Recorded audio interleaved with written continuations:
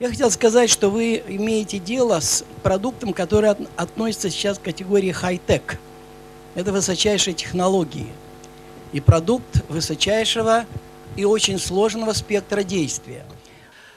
Значит, друзья мои, я занимаюсь трансфер-фактором с того момента, когда он появился в России. Но не с этой точки зрения, о которой шла здесь речь, очень важная сторона дела, а проблемами действия трансфер-фактора. В 2001 году совместно с фирмой For мы начали обширные национальные, межнациональные исследования трансфер-фактора в России. И вот наша академия, и вот наша кафедра, в том числе, вот, которую я возглавляю, с Эмой Агановой и вот с этой командой For мы знакомы много-много лет. И не, и не 10 лет тому назад, а значительно раньше мы работали на российском рынке, и ни о каком трансфер-факторе речи не было, хотя трансфер-фактор был открыт в 1946 году. Его просто не оценили. И надо сказать, что большое достоинство от этой компании Life в том, что они впервые смогли это сделать товарным продуктом. То есть они осознали, насколько это серьезно, а может быть еще и не осознали, насколько это намного серьезнее, чем мы думаем – даже здесь, в этой аудитории, я сейчас об этом скажу. Отдельно скажу. Что это намного серьезнее. Мы занимались исследованием трансфер-факторов впервые на микробных инфекциях, что привычно говорить о нем как о противовирусном начале, а мы специально повели совершенно иначе. Вообще все нестандартно сделали. Сама биохимия нестандартный подход, это тоже сыграло свою роль.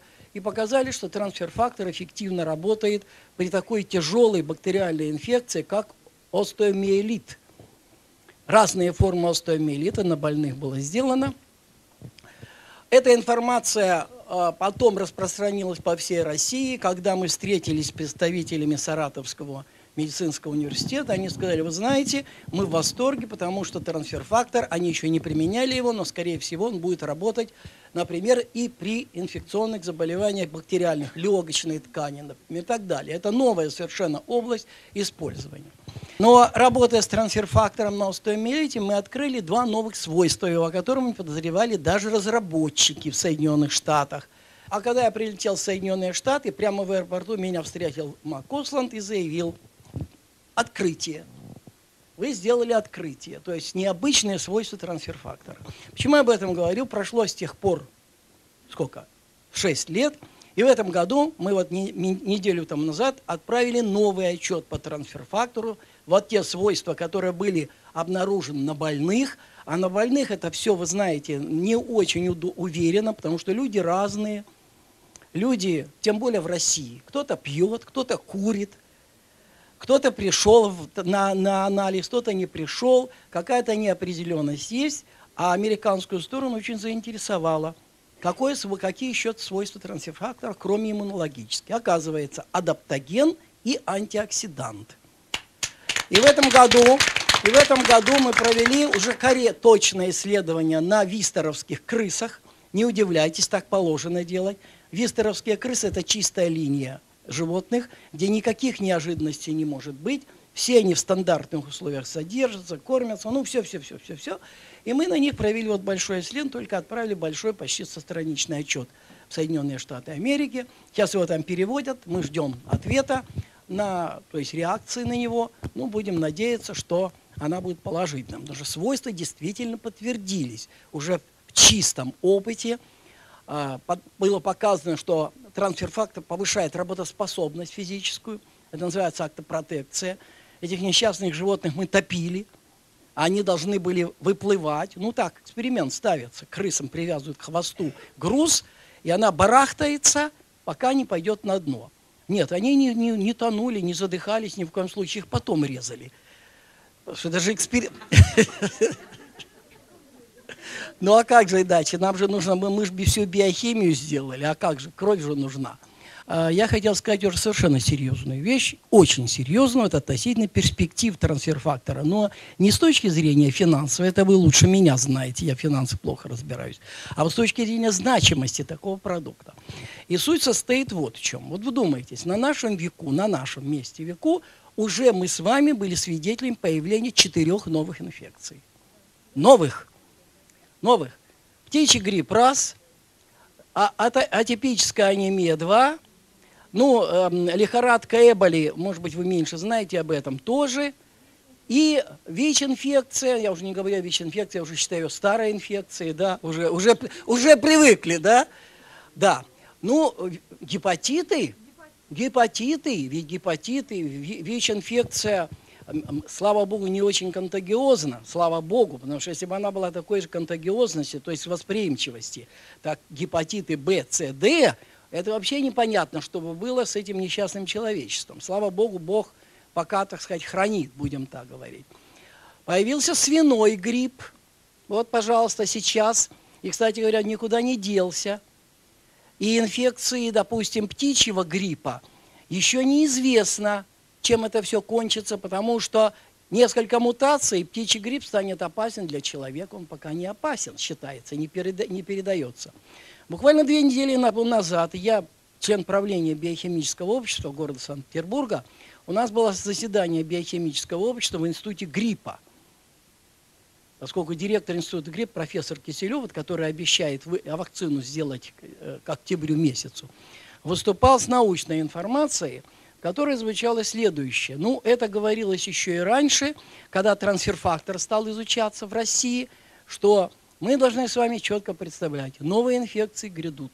Новые, еще неизвестные, инфекции, против которых нет средств, инфекции, против которых, конечно, нет вакцин. Каждая вакцина должна быть разработана под конкретную инфекцию. Дай Боже, чтобы вирус свиного гриппа не мутировал за эти три месяца – иначе произойдет мутация, тогда вакцина не будет работать и против него. Давайте вещи называть своими именами. Все генетики знают, но это нужно было озвучить, что вирусы обмениваются информацией, и вирус, допустим, испанка, которая была в 20-х годах, один из компонентов генома имеется в вирусе свиного гриппа.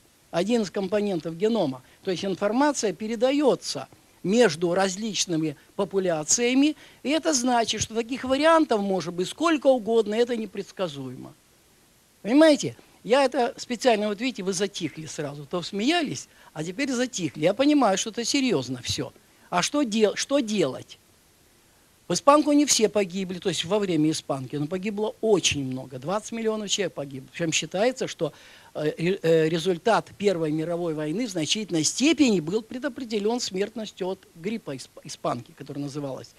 Так вот, его ген, часть генома э, того вируса имеется в этом. Таким образом, вот такая перекрестная передача информации приведет к тому, что будет появляться новые инфекции. Какой выход из положения? Вирус э, свиного гриппа абсолютно не чувствителен никаким препаратам э, обычным, э, ремонтадину и прочим, которые применялись вообще вот до этого времени. Не чувствителен. Есть какие-то французские, есть чрезвычайно дорогие, кстати говоря, очень дорогие, но эффективность которых не очень ясна. Чему это все говорю? А говорю к тому, что единственный путь перспективный – против любой потенциальной инфекции состоит в том, что нужно поднимать иммунитет своего организма. Никакой фармацевтический препарат вам здесь не даст результата. Ну, поверьте мне, я сам фармацевт по образованию, закончил фармацевтический факультет Первого Московского медицинского института в свое время. Вот, и занимался разработкой препаратов, и сейчас занимаюсь разработкой, и поэтому не пью лекарств, кстати говоря. Именно поэтому. А вот трансфер-фактор – это не лекарство. И это даже, понимаете, как-то и добавкой трудно назвать. Это компонент э, иммунной системы нашего организма.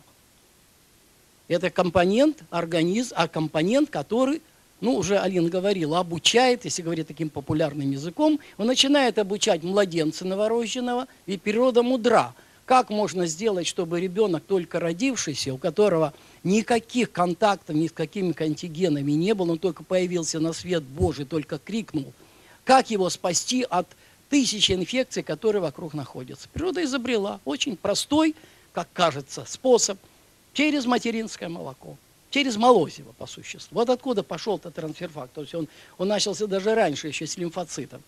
Молозиво Материнское молозиво – это школа, информационная школа иммунитета.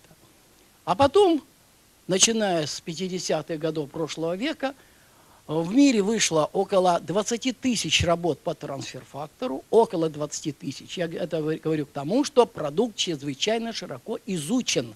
Потому что обычно скептики начинают, а, эти ваши добавки, их никто не изучает. Мы, мы сторонники доказательной медицины, сейчас появились такие слова, мы сторонники доказательной медицины, то есть медицина, э, то есть все, что должно быть доказано. Так вот, что касается трансфер-фактора, 20 тысяч исследований, я вам говорю совершенно авторитетно, поскольку я сам теперь отношусь к этой же команде, понимаете, исследователи трансфер-фактора. Это очень серьезно. Ни один фармацевтический препарат так не исследован.